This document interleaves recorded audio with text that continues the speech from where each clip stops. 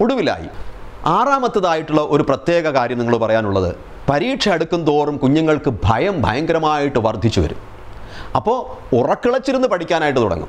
അല്ലേ? ഉറക്കിറ പിന്നെ കട്ടൻ ചായ കുടിക്കുന്നു. പിന്നെ ചില കുട്ടികൾ വെള്ളത്തിൽ കാൽ എടുത്ത് മുക്കി വെച്ചിട്ടിരുന്ന് പഠിക്കുന്നു. ഉറങ്ങാൻ പറ്റുന്നില്ല. രാത്രിയും പകലും ഒരേ പഠിത്തം. ട്യൂഷന്റെ മേൽ ട്യൂഷൻ ഓരോന്നിനും സ്പെഷ്യൽ ട്യൂഷൻ. അതിനെല്ലാം പുറമേ വീട്ടിൽ നിന്നുള്ള സമ്മർദ്ദങ്ങൾ. ഇതെല്ലാം കൊണ്ട് ആകെക്കൂടെ അസ്വസ്ഥമാവുകയും അങ്ങനെ ആ അസ്വസ്ഥതകളോടുകൂടെ ഇരുന്ന് പഠിക്കാനായിട്ട് ശ്രമിക്കുമ്പോൾ തന്നെ പലപ്പോഴും നമ്മുടെ പെട്ടെന്ന് ക്ഷീണിതരാകുന്നു ബലഹീനരാകുന്നു. ചിലർക്ക് പരീക്ഷയുടെ ഭയം കൊണ്ട് ആകെക്കൂടെ സമ്മർദ്ദം കൊണ്ട് പനി ഉണ്ടാകുന്നു. അങ്ങനെ ഭയകരമായ ഒരു അവസ്ഥയിലേക്ക് വരികയാണ്. എന്നാൽ അതിനെ നമ്മൾ തന്നെ അതിജീവിക്കുക. പ്രത്യേകിച്ചും എല്ലാവരും ആൾക്കാർ പിന്നെ ചോദിക്കും പരീക്ഷ എങ്ങനെയുണ്ട്? നന്നായിട്ട് പഠിക്കുന്നുണ്ടോ? എന്നൊക്കെ ചോദിക്കുന്നതേ കുട്ടികൾക്ക് അപ്പോൾ തന്നെ ആ കൂടെ വിഷമാകും. പിന്നെ വീട്ടിലെപ്പോഴും നമ്മൾ കേട്ടുകൊണ്ടിരിക്കുന്ന ഒന്നാണ് പടി പടി പടി എന്നുള്ള കാര്യങ്ങൾ അപ്പോൾ കാരണമെന്ന് വെച്ചാൽ ഇന്നത്തെ ഒരു മത്സര തലമുറയുടെ നടുവിൽ നമുക്ക് മത്സരബുദ്ധിയോടെ നിന്നെങ്കിലേ ഒന്നാമതെത്താനായിട്ട് കഴിയുള്ളൂ. എന്നാൽ ഈ പഠനകാര്യങ്ങൾ ഒന്നാമതെത്താൻ വേണ്ടിയിട്ട് മാത്രമല്ല നമ്മുടെ ജീവിതത്തിനകത്ത് ഒരുപാട് മൂല്യങ്ങളുള്ള കാര്യങ്ങളും കൂടെ നമ്മൾ മനസ്സിലാക്കി മുന്നോട്ട് പോകേണ്ടതും ആവശ്യമാണ്. അത് മറ്റൊരു വശമാണ്. ഇപ്പം ഞാൻ പറഞ്ഞത് ഒരേ ഇരിപ്പിലിരുന്ന് ഉറക്കിളച്ച് ചില കുട്ടികൾക്ക് ഭക്ഷണം പോലും വേണ്ട. ഇപ്പോൾ തന്നെ പല കുട്ടികൾക്കും ഛർദ്ദിക്കാനായി വരുന്നു. പരീക്ഷയുടെ കാര്യങ്ങൾ ഓർക്കുമ്പോൾ തന്നെ വൊമിറ്റ് ചെയ്യാനായിട്ട് വരുന്നു. അവർക്ക് ഭക്ഷണം വേണ്ട. പിന്നെ എന്തൊക്കെയോ അസ്വസ്ഥതയാണ്. ആകെ ക്ഷീണിച്ചിരിക്കുന്ന അവസ്ഥ കൈ വിയർക്കുന്നു ദേഹം മുഴുവനും വിയർക്കുന്നു. അങ്ങനെയുള്ള ഒരുപാട് അസ്വസ്ഥതകളിലൂടെ കുഞ്ഞുങ്ങൾ കടന്നു പോവുകയാണ് ഞാൻ പറയട്ടെ ഒന്ന് റിലാക്സ് ചെയ്യുക. ഏറ്റവും പ്രധാനമായിട്ടൊരു കാര്യമാണ്. ആറാമത്തതായിട്ട് എനിക്ക് പറയാനുള്ളത് റിലാക്സ് ചെയ്യുക. നമ്മൾ വളരെയധികം അല്പം മനസ്സിന് സ്വസ്ഥത കൊടുക്കുക. ഈ അധ്വാനിക്കുന്നവർക്ക് വേണ്ടി തന്നെ വിശുദ്ധ ബൈബിളിൽ ദൈവം പറഞ്ഞു ആറ് ദിവസം അധ്വാനിക്കുന്നതിന് ഏഴാം ദിവസം വിശ്രമം ആവശ്യമാണ്. അപ്പോൾ അധ്വാനിക്കുന്നവന് വിശ്രമിക്കണം എന്നത് ദൈവം ഒരു കൽപ്പനയായിട്ട് തന്നെ കൊടുത്തു. അതിനു വേണ്ടിയിട്ട് തന്നെ ഒരു ശബത്ത് എന്ന് പറയുന്ന ഒരു ദിവസം തന്നെ ദൈവം കൊടുത്തു. അതാണ് ദൈവം തന്നെ അതിന് മാതൃക കാണിച്ചു. എല്ലാ ആറ് ദിവസങ്ങൾ ഉണ്ടാക്കി ഏഴാം ദിവസം സ്വസ്ഥനായിട്ടിരുന്നു. അപ്പോൾ എപ്പോഴും അധ്വാനിക്കുന്ന ഒരു വ്യക്തിക്ക് ആ സ്വസ്ഥത ആവശ്യമാണെന്ന് ദൈവം പറയണം. അതുകൊണ്ടാണ് കർത്താവ് തന്നെ പറഞ്ഞത് മത്തായി എഴുതിയ സുവിശേഷം പതിനൊന്നാം അധ്യായം ഇരുപത്തെട്ടാം വാക്യത്തിൽ അധ്വാനിക്കുന്നവരും ഭാരം ചുമക്കുന്നവരുമായുള്ളവരെ ഈ ഒരു സമയത്ത് ഞാൻ ഒരു വാക്കൂടെ ചേർത്ത് പറയട്ടെ അധ്വാനിക്കുകയും പരീക്ഷ ഭാരം ചുമക്കുന്നവരുമായ മാതാപിതാക്കളും കുട്ടികളുമായുള്ളവരെ. കർത്താവ് വിളിക്കണം. എല്ലാ ഭാരങ്ങളും ചുമക്കുന്നവരെ കർത്താവ് വിളിക്കുകയാണ്. എന്റെ അടുക്കൽ വരുവിൻ. ഞാൻ നിങ്ങൾക്ക് വിശ്രമം തരാം. I will give you rest എന്നാണ്. ഞാൻ നിങ്ങൾക്ക് വിശ്രമം തരാം. ഞാൻ നിങ്ങൾക്ക് ആശ്വാസം തരാം എന്ന് കർത്താവ് വിളിക്കുകയാണ്. അപ്പോൾ റെസ്റ്റ്ലെസ് ആയിരിക്കുന്ന അവസ്ഥകൾ മാറ്റി മനസ്സിനൊന്ന് റെസ്റ്റ് കൊടുക്കുക. ഒന്ന് വിശ്രമം കൊടുക്കുക. ഒരു ആശ്വാസത്തെ നമ്മൾ പ്രാപിക്കുക. അത് ആവശ്യമാണ്. ഉറങ്ങേണ്ട സമയത്ത് കൃത്യമായിട്ട് ഉറങ്ങിയിരിക്കണം. ടെൻഷനോടുകൂടെ കിടന്നാൽ ഉറക്കം വരില്ല. അതുകൊണ്ട് കൃത്യമായി ഉറങ്ങാത്തൊരു കുഞ്ഞിന് കൃത്യമായും പഠിച്ചെടുക്കാൻ ഓർമ്മശക്തി നിലനിർത്തുവാൻ പ്രയാസമാണ്. പരീക്ഷയുടെ തലേദിവസം രാത്രി മുഴുവനും ഇരുന്ന് ഉറക്കളച്ചിട്ട് രാവിലെ പരീക്ഷാ ഹാളിലേക്ക് പോയാൽ ശരിയായ തരത്തിൽ നമ്മൾ ബുദ്ധി പ്രവർത്തിക്കില്ല. അതുമാത്രമല്ല ആ ഉറക്കവും കടന്നു വരും ആകെ കൂടെ കൺഫ്യൂസ്ഡ് ആയ ഒരു അനുഭവത്തിലെത്തും. അത് വേണ്ട. അതുകൊണ്ട് പഠിക്കാനുള്ളതൊക്കെ ഈ ദിവസങ്ങളിൽ സമയം കൃത്യമായി പാലിച്ചുകൊണ്ട് നേരത്തെ പഠിച്ച് വയ്ക്കുക അവസാന സമയങ്ങളിൽ ആ ഒരു റിവിഷൻ ആ സമയത്ത് കുറച്ചുകൂടെ നമ്മൾ ആവശ്യമായി നേരത്തെ പറഞ്ഞ പോലെ പോയിന്റുകൾ എഴുതി വെച്ചിരിക്കുക. അതെല്ലാം കൂടെ ഒന്ന് ഒന്ന് മെമ്മറൈസ് ചെയ്തുകൊണ്ട് ഓർമ്മപ്പെടുത്തിക്കൊണ്ട് പരീക്ഷയ്ക്ക് വേണ്ടി പോകുന്നത് നല്ലതായിരിക്കും. അപ്പോൾ ആവശ്യത്തിന് നമ്മൾ റെസ്റ്റ് ചെയ്യുക. ആവശ്യത്തിന് നല്ല ഭക്ഷണം കഴിക്കുക. നല്ല ഭക്ഷണം നമ്മൾ വെറുതെ ഇങ്ങനെ വലിച്ചു വാരി നമ്മൾ കഴിച്ചാൽ ക്ഷീണവും അസ്വസ്ഥതയും ഒക്കെ ഉണ്ടാകും. ശരീരത്തിന് പ്രവർത്തികൾ കൂടും വർക്ക് വർക്ക് ലോഡ് കൂടും. അപ്പോൾ പിന്നെ നമുക്ക് ക്ഷീണം സ്വാഭാവികമായിട്ടുണ്ടാകും അതുകൊണ്ട് പോഷകമൂല്യമുള്ള ആഹാരങ്ങൾ കൃത്യസമയത്ത് കഴിക്കുക. ആവശ്യത്തിനുള്ള റെസ്റ്റ് നമ്മൾ എടുക്കുക. ഈ റെസ്റ്റ് ചെയ്യുക എന്ന് പറയുമ്പോൾ ഞാൻ കേട്ടിട്ടുണ്ട് രണ്ടുപേരിങ്ങനെ വിറക് കീറാനായിട്ട് നിൽക്കുകയാണ്. അപ്പോൾ ഒത്തിരി മരക്കഷ്ണങ്ങൾ കിടക്കുന്നുണ്ട് വിറക് കഷ്- കഷ്ണങ്ങൾ. അതിനെ കോടാലി കൊണ്ട് അവർ കീറി മുറിച്ച് വിറകുകളാക്കിക്കൊണ്ടിരിക്കുന്നു. അപ്പോൾ രണ്ട് പേരും കീറുന്നുണ്ട് രണ്ടുപേരുടെ അവസ്ഥ വ്യത്യസ്തമായ തലങ്ങളിലാണ്. ഒരാളാണെങ്കിൽ ഇടതടവില്ലാതെ അല്പം പോലും വിശ്രമമില്ലാതെ അദ്ദേഹം കഠിനാധ്വാനം ചെയ്ത് വിറക് കീറിക്കൊണ്ടിരിക്കുകയാണ്. രാവിലെ മുതൽ അദ്ദേഹം ഭക്ഷണം കഴിക്കുന്ന സമയം പോയിട്ട് ബാക്കിയുള്ള എല്ലാ സമയത്തും അദ്ദേഹം വിറക് കീറലാണ് അതിശക്തമായിട്ട് അധ്വാനിക്കുകയാണ്. എന്നാൽ അദ്ദേഹത്തിന്റെ തൊട്ടടുത്ത് നിന്ന് വിറക് കീറുന്ന മറ്റൊരു മനുഷ്യനുണ്ട്. ആ വ്യക്തി എന്താ ചെയ്യുന്നു വെച്ചാൽ അദ്ദേഹം കുറേ നേരം വിറക് കീറും. എന്നിട്ട് അദ്ദേഹം ഒരു തണലിൽ പോയിരുന്നിട്ട് തന്റെ കോടാലിക്ക് അരം കൊണ്ട് മൂർച്ച കൂട്ടും. ആ മൂർച്ച കൂട്ടുന്ന സമയത്ത് രണ്ട് കാര്യങ്ങളാണ് സംഭവിക്കുന്നത്. ഒന്ന് ഈ കോടാലി കുറച്ച് മൂർച്ചയുള്ളതായി മാറുന്നു. രണ്ട് അദ്ദേഹത്തിന് ആവശ്യമുള്ള വിശ്രമവും അവിടെ കിട്ടുന്നു. കുറച്ച് വെള്ളം കുടിക്കും. അത് കഴിഞ്ഞിട്ട് വീണ്ടും ഈ കോടാലി മൂർച്ച കൂട്ടിക്കൊണ്ട് അദ്ദേഹം വീണ്ടും വിറക് കീറാനായിട്ട് വരും. കുറേ കഴിയുമ്പോൾ അദ്ദേഹം വീണ്ടും കുറച്ച് ഒരു മണിക്കൂറോ ഒന്നര മണിക്കൂറോ ഒക്കെ അദ്ദേഹം പണിയെടുത്ത ശേഷം വീണ്ടും ഇതുപോലെ വന്ന് താൻ ഒരു തണലത്തിരുന്ന് അല്പം വിശ്രമിച്ച് അല്പം വെള്ളം കുടിച്ച് ആ കോടാലി ഒന്ന് മൂർച്ച കൂട്ടും. വീണ്ടും പോയി അദ്ദേഹം വിറക് കീറും.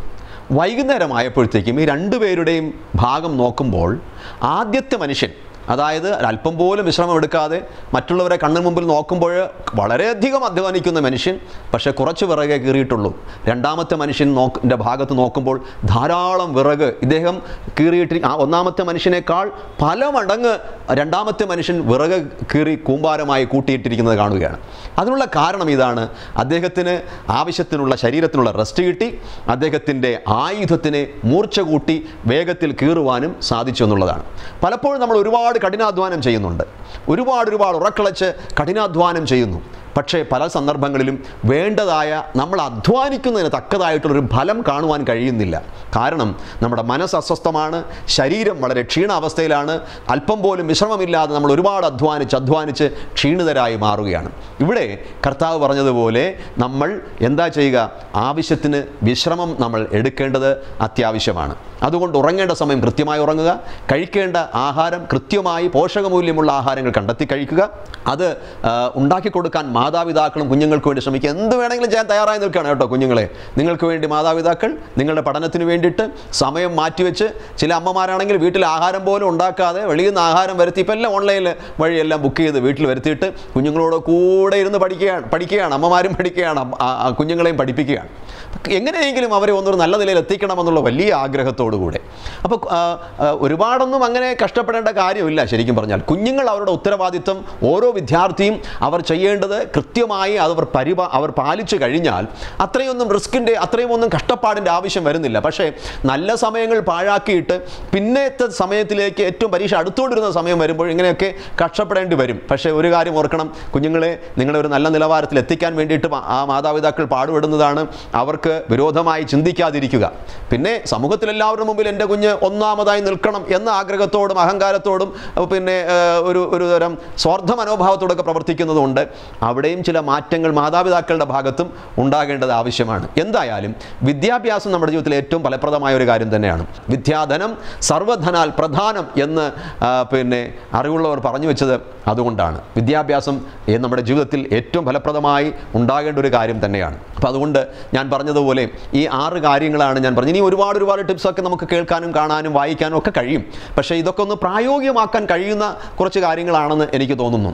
അത് നമുക്ക് പ്രായോഗികമാക്കാം. നമ്മളെ കൊണ്ട് പറ്റാതെ വരുമ്പോൾ തളരുമ്പോൾ ക്ഷീണാവസ്ഥയിൽ വരുമ്പോൾ നമുക്ക് ആശ്വാസവും വിശ്രമവും തരാമെന്ന് വിളിച്ച കർത്താവായ യേശു നമുക്ക് വേണ്ടി ജീവിക്കുന്നു. ആ കർത്താവിന്റെ അടുക്കിലേക്ക് പോവുക. കർത്താവിന്റെ സ്ഥലം അല്പസമയം ശാന്തമായിട്ടിരിക്കുക. എല്ലാ ഭാരങ്ങളും അവിടെ ഇറക്കി വയ്ക്കുക കർത്താവ് നമുക്ക് ആശ്വാസം തരും. അവിടുത്തെ ജ്ഞാനവും വിവേകവും ബുദ്ധിയും കൊണ്ട് ദൈവം നമ്മളെ നിറയ്ക്കും. അതുകൊണ്ട് നമ്മുടെ സകല ഭാരവും കർത്താവിന്റെ പാദത്തിലേക്ക് നമുക്ക് ഇറക്കി വയ്ക്കാം കർത്താവ് നമ്മളെ സഹായിക്കും. ആറ് കാര്യങ്ങളാണ് ഞാൻ പരീക്ഷ എഴുതുന്ന കുഞ്ഞുങ്ങൾക്ക് വേണ്ടിയിട്ട് പ്രത്യേകമായും പറഞ്ഞത്. ഒന്നാമതായി പ്രത്യേകമായി അവരവരുടെ സാഹചര്യങ്ങൾക്കനുസൃതമായിട്ടുള്ള പഠിക്കാനായിട്ട് കൃത്യമായ ഒരു സമയം കണ്ടെത്തി അത് ഫോളോ ചെയ്യുക എന്നുള്ളതാണ്. രണ്ടാമത്തേത് ആദ്യം ഏത് എന്നുള്ളതാണ്. അതും നിങ്ങളുടെ മാനസികാവസ്ഥയ്ക്ക് അനു അനുസരിച്ച് നിങ്ങളുടെ അഭിരുചിക്കനുസരിച്ച് എളുപ്പമായതോ കഠിനമേറിയതോ നിങ്ങൾക്ക് ഏതാണോ ആദ്യം പഠിക്കാൻ താല്പര്യമുള്ളത് അത് പഠിക്കുക. രണ്ടും പഠിച്ചേ മതിയാകുകയുള്ളൂ. അതിന്റെ സമയക്രമങ്ങൾ നിങ്ങൾ അത് ക്രമീകരിക്കുവാനായിട്ട് ശ്രദ്ധിക്കുക. മൂന്നാമത്തേത് ഓർമ്മ പുതുക്കുവാനായിട്ട് നമ്മൾ ചെറിയ ചെറിയ പേപ്പർ കഷ്ണങ്ങളിലോ കാർഡുകളിലോ നമുക്ക് ഓർമ്മ നിൽക്കാത്ത ഫോമുലകളും അതുപോലുള്ള ഉദ്ധരണികളും മറ്റ് വർഷങ്ങളോ പേരുകളോ ഒക്കെ എഴുതി ഇടയ്ക്കിടയ്ക്ക് കിട്ടുന്ന സമയങ്ങളിൽ ഒന്നുകൂടെ നമ്മൾ നോക്കുകയും വായിക്കുകയും മനസ്സിരുത്തുകയും ചെയ്യുക. നാലാമതായി ഒരുപാട് പഠിച്ചിട്ടും എല്ലാം അറിയാമായിരുന്നിട്ടും എഴുതി ഫലിപ്പിച്ച് മാർക്ക് നേടുവാൻ കഴിയാതിരിക്കുന്ന കുഞ്ഞുങ്ങൾ അവർ കഴിയുന്നതും സമയമെടുത്ത് എഴുതി പഠിക്കുക എന്നുള്ളതാണ്. മനസ്സ് അതിൽ വളരെയധികം ഏകാഗ്രതയോടിരുന്ന് എഴുതി പഠിക്കുക. അഞ്ചാമതായി ഓരോന്നിനും പോയിന്റുകൾ ഉണ്ടാക്കി. ഞാൻ പറഞ്ഞു മഴവില്ല് വിബ്ജിയോർ. അപ്പോൾ അതിന് പോയിന്റുകളും സബ് പോയിന്റുകളും ഉണ്ടാക്കി. അതിനെ എഴുതിയിടുക. അങ്ങനെ അതിനെ മെമ്മറൈസ് ചെയ്ത് പഠിച്ച് മുന്നോട്ട് പോവുക. ഒടുവിലായി ഞാൻ പറഞ്ഞത് ആവശ്യത്തിന് വിശ്രമം ഉള്ളവരായി തീരുക കർത്താവ് നിങ്ങളെ അനുഗ്രഹിക്കട്ടെ. ഞാൻ പരീക്ഷയെക്കുറിച്ച് മറ്റു ചില കാര്യങ്ങൾ കൂടെ നിങ്ങളോട് പറയണമെന്ന് ആഗ്രഹിക്കുന്നു. ഇപ്പോൾ നമുക്ക് പ്രാർത്ഥിക്കാം. ഒരുപക്ഷെ കുഞ്ഞുങ്ങൾ ഈ പ്രോഗ്രാം കാണുന്നുണ്ടെങ്കിൽ നിങ്ങൾക്ക് എന്നോട് കൂടെ ചേർന്ന് പ്രാർത്ഥിക്കാം. അതല്ല മാതാപിതാക്കളാണ് ഉള്ളതെങ്കിൽ നിങ്ങൾക്ക് നിങ്ങളുടെ കുഞ്ഞുങ്ങളെ ഓർത്ത് പ്രാർത്ഥിക്കാം.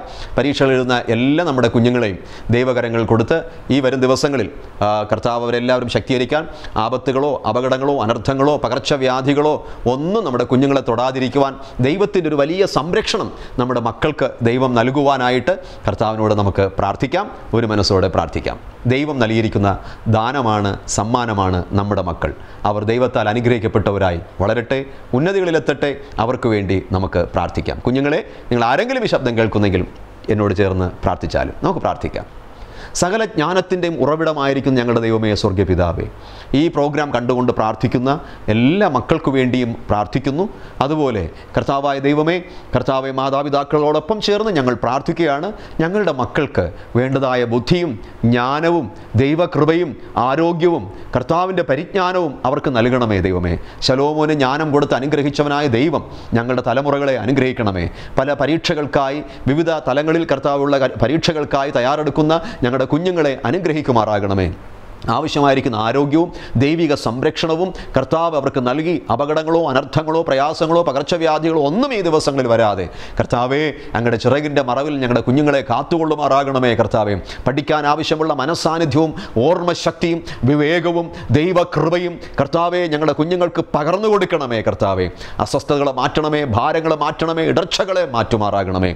നന്നായി തയ്യാറെടുത്ത് കർത്താവ് ഒരു പരീക്ഷകൾ എഴുതി ഉന്നത വിജയങ്ങൾ വാങ്ങി കർത്താവിനെ മഹത്വപ്പെടുത്തുവാൻ കർത്താവിന്റെ സാക്ഷികളായി നിൽക്കുവാൻ സമൂഹത്തിന് പ്രയോജനമുള്ളവരായി തീരുവാൻ കർത്താവെ കൃപയാൽ സഹായിക്കണമെന്ന് ഞങ്ങൾ പ്രാർത്ഥിക്കുന്നു. വേണ്ടതായി നന്മകളാൽ നിറയ്ക്കണമേ. യേശു ക്രിസ്തുവിന്റെ വിലയേറിയ നാമത്തിൽ ഞങ്ങൾ ഒരുമിച്ച് പ്രാർത്ഥിക്കുന്നത് കേൾക്കണമേ നല്ല പിതാവേ. ആമേൻ. ആമേൻ. ദൈവം നിങ്ങളെല്ലാവരും അനുഗ്രഹിക്കട്ടെ. സകല ജ്ഞാനത്തിന് ഉറവിടമായ ദൈവം സകല നന്മകളാലും നിറച്ച് നിങ്ങളെ പരിപാലിക്കുമാറാകട്ടെ. ആമേൻ.